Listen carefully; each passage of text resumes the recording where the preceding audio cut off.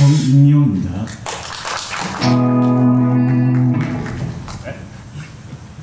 그리고 베이스의 민정철입니다. 어, 저희가 준비한 곡은 조인이라는 곡인데요. 뭐 뜻은 함께하다 연결하다 그런 뜻이 있는데 어떤 곡을 하던 연주하는 사람에 따라서 자기의 스타일, 색깔이 묻어난다는 의미를 담아서 이렇게 정했어요. 재밌게 봐주시기 바랍니다.